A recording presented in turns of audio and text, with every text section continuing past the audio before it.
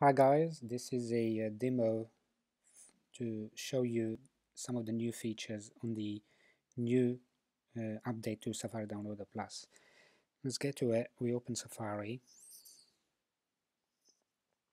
Now for the ones who just bought Safari Downloader Plus, you will get this uh, tutorial. The most important thing is this first one and you can see this switch what it is is this little icon that looks like an upside down umbrella. If you press on it and swipe away it would enable or disable Safari. So be careful. If it's blue it means it's on. If it's gray it means it's not on. So before you email me to say that you cannot download it make sure that this is blue beforehand okay? So we'll just skip through this and let's go to YouTube.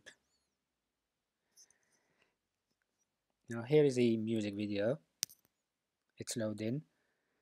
Safari's doing its magic. You can see it spinning and hopefully it will bring you some options.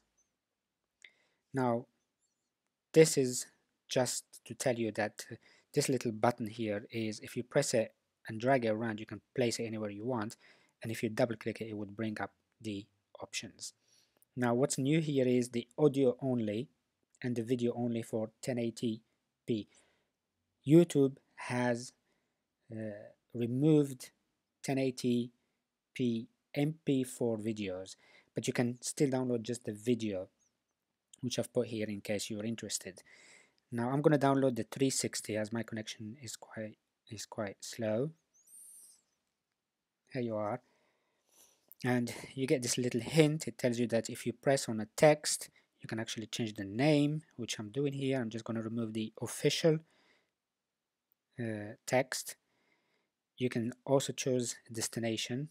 Now I put all my videos into a video folder and then you can hit download and as you can see it is going. Now the new feature as I said is pause. And there you go. I've just paused the download. And if I press again it should resume it. To cancel it you can just slide in the normal way. Now we just wait for this one to finish and there you are. It is finished. Now there is an even better thing right here. I'm just going to download another video. I like this one just wait for the magic to happen. And what I'm going to do is I'll download the video and I'm going to stop the Wi-Fi completely so the download fails.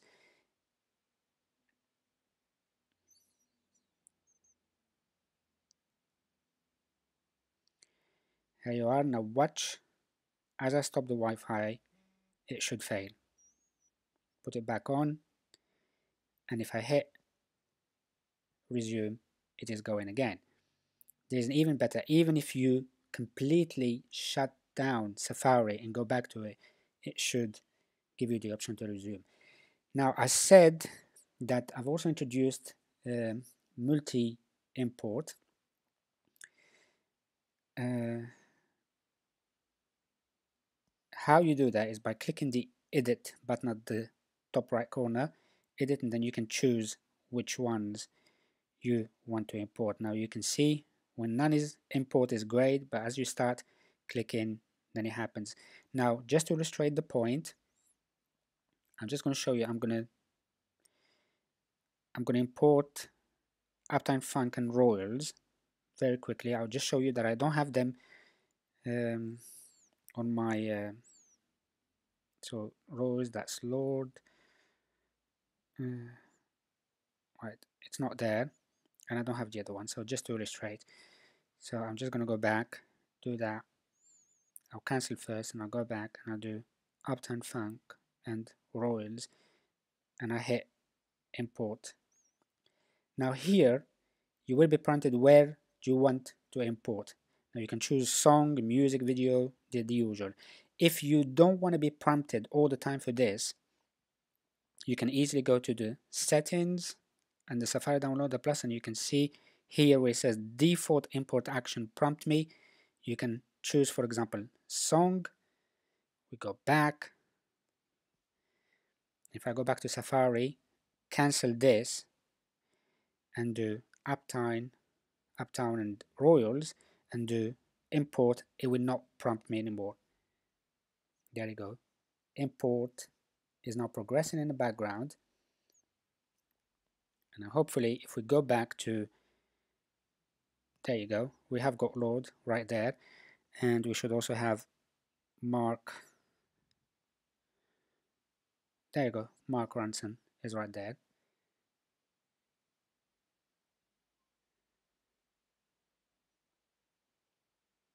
Brilliant. Uh, one more thing. Now the downside of multi-import is that you cannot change the artwork.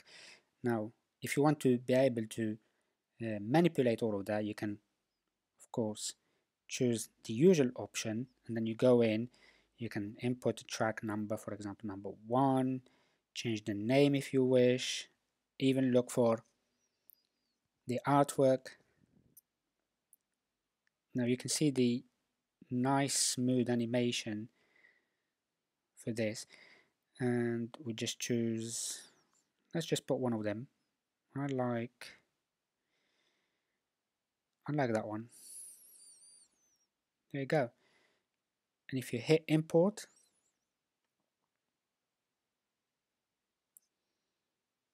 if I go back to finding it, hopefully it should be somewhere around here. There you go. Okay.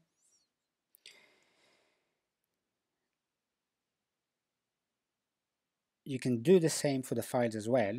Now notice that when you do when you want to import multiple files now it is um, intelligent enough to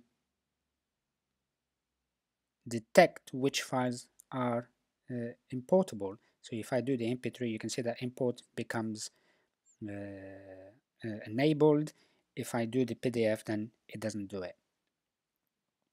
Okay one more thing that I would like to say also uh, uh also is that uh, there, there's a problem with iOS 8 which if you actually click on the video it doesn't play on iOS 8 now to overcome that I had to do a symlink so the files that you download where you choose to download them they are only it's only a link to the original file which is actually under the document for the temp file of Safari uh, uh, application itself.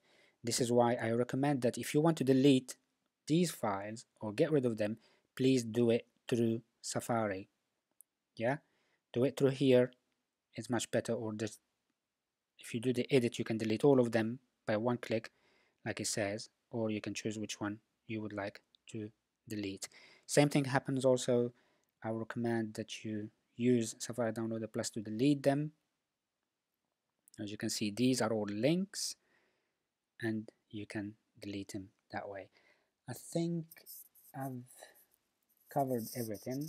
Uh, if I remember anything, I will let you know, guys. So please do enjoy it and please let me have your feedback uh, if you have anything to say. Thank you and have a lovely day.